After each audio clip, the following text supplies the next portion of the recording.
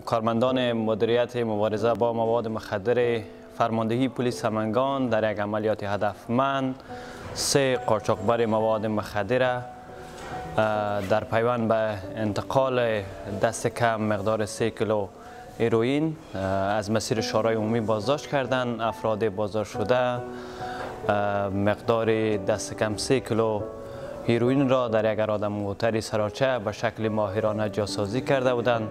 و قصد انتقال آن را از ولایت بدخشان به ولایت بلخ داشتند که خوشبختانه در اثر تلاش های پلیس مبارزه با مواد مخدری پلیس سمنگان ای افراد با موادی که انتقال می‌دادند بازداشت شدند. فعلا زیر تحقیقات و بازپرسی های پلیس قرار دارند.